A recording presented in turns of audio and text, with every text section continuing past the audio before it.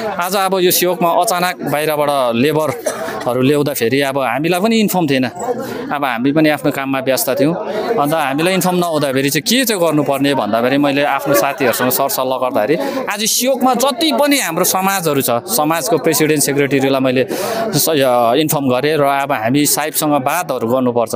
हुनु चाहिँ अब हामीले उनीहरूको प्रतिवाद पनि गरेको होइन। कमन लिएर हामीले प्रतिवाद गरेको होइन। हो हाम्रोमा दिनदिनै हाम्रोमा लेबर कम्ती भएर गएको छ। तर उहाँ म्यानेजर पक्षले पनि हामीलाई इन्फर्म नगरी नै एउटा यसरी लेबर ल्याइदिँदाखेरि चाहिँ अब हामीलाई पनि दुःख अब दुःख लाग्यो। त्यही कारणले आज हामी यसरी प्रतिवाद गर्नु लाग्यो। तर हामी आज अब सबै समाज हामी कुनै राजनीतिक प्रकारले आएको होइन। हामी आज सबै एउटा सचेत सियोगको मान्छे भएर चाहिँ हामी यहाँ आयौँ र सरहरूसँग बात मार्दाखेरि एकदम राम्रो कुरा निस्क्यो। उहाँहरूले भन्नुभयो ठिकै छ आज हामी अब सियोगलाई हामी तपाईँहरूलाई इन्फर्म नगरी नै यो ल्याउँ हामी लेबरहरू फर्काइदिन्छौँ भन्दैछ। र अब उहाँहरूलाई हाम्रो समाजको प्रतिनिधिहरू जानुभएको छ कति दिनमा फर्काइदिनुहुन्छ?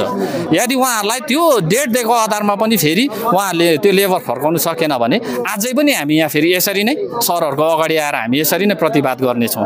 र आज म जति पनि हाम्रो समाज सियोगको जति समाज आउनुभयो भोइस अफ मिरिक आयो हामीलाई जतिले पनि हेरिरहनु भएको छ सबैलाई नै म धेरै धेरै धन्यवाद दिँदै आजको हाम्रो राम्रो भएको छ। अब उहाँहरूले दिएको डेडलाइनभित्रमा उहाँहरूले फर्काइदिएन भने फेरि हामी सियोगले चाहिँ यसरी नै प्रतिवाद गर्छौँ भन्दै लगभग कतिवटा समाज छ यो क्षेत्रमा आज- कतिवटा समाजको प्रतिनिधिहरू चाहिँ यहाँ बात गर्नु आज हाम्रो यहाँनिर आठवटा जस्तो समाजको चाहिँ आएको छ यसमा हाम्रो टुक्रे छोड्यो जो चाहिँ अब टुक्रेसँग हामी या त सम्पर्क गर्न सकिँदैन। यो त इमिडिएटली गरी पठायो नि त कम्पनी म्यानेजर पक्षले।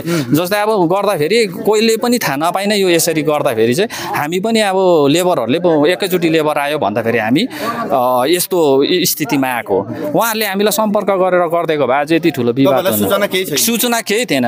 यही दुखासो चाहिँ अब हामी कमन भनेर दिनरात मरि मेट्ने मान्छेहरूलाई कमसेकम इन्फर्म त गरिदिएको भए आज हामी यस्तो प्रतिवाद पनि गर्थेनौँ म्यानेजर पक्षलाई पनि। तर हामीले उहाँहरूलाई विरोध गरेर पनि आएको होइन तर जे होस् उहाँहरूसँग हामी वाद विवाद गर्दा एकदम राम्रो पक्ष निस्क्यो। उहाँहरूले अब हामीलाई दिएको डेडलाइनभित्रमा चाहिँ त्यो लेबर चाहिँ फर्काइदिनुपर्छ भन्ने म यही भन्दै दुई शब्द यहीँ अन्य राख्दछु ठाउँतिर पनि त अब कतिपय यस्तो समस्याहरू आइरहेको छ।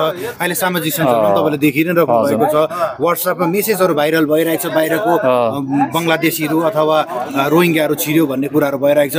अरू जग्गाको व्यक्तिहरू पनि कसरी कसरी सतर्क बस्नुपर्ने हो? के भन्नु चाहनुहुन्छ अन्य क्षेत्रलाई? म चाहिँ के भन्छु भन्दाखेरि अहिले अब हेर्नुहोस् है दार्जिलिङको स्थिति पनि यस्तै छ। हामी पोलिटिकलपट्टि जानु हुँदैन। यो कुराहरू रोक्नुलाई चाहिँ हामी समाजकै मान्छेहरू अग्रसर भएर अघि बढेको हुनुपर्छ। यसमा हामीले न पोलिटिक्स हेर्नु न के हेर्नु। आज त हामी बस्ने भूमिमा हामीमै एटेक भएको हो नि त यो त। यसले गर्दा चाहिँ म सबैजना जहाँ पनि आउँदैछ बाहिरबाट यस्तो हुँदैछ तपाईँहरू समाजै लागि पर्नुहोस्। जस्तो आज हामी सियोगले समाज लागि पऱ्यौँ। हामी यहाँनिर न कुनै हामीले जात हेऱ्यौँ न कुनै के हेऱ्यौँ तर पनि हामी समाज लागि परेर आज हामीले यो निर्णय लिएको छौँ र अरूहरूलाई पनि म भन्छु तपाईँहरू सचेत हुनुहोस् समाज उठेर जानुहोस् समाजभन्दा ठुलो केही पनि होइन। मेरो सोचमा चाहिँ र तपाईँहरू सबैलाई नै म यही भन्न चाहन्छु।